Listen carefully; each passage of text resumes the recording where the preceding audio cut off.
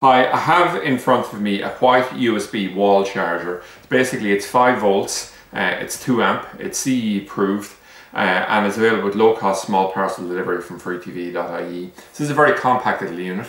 We'll see here it has a, a sort of unusual shaped plug in it and the reason it's unusual is you just it's compact for shipping okay so you can just push this in and out quite easily if we just rotate it over, we'll see the output on the back. So we have our USB port there. So obviously you could use this for either Android or you could use it for um, Apple products for charging directly. So you'll almost invariably be using this with uh, phones or possibly tablets.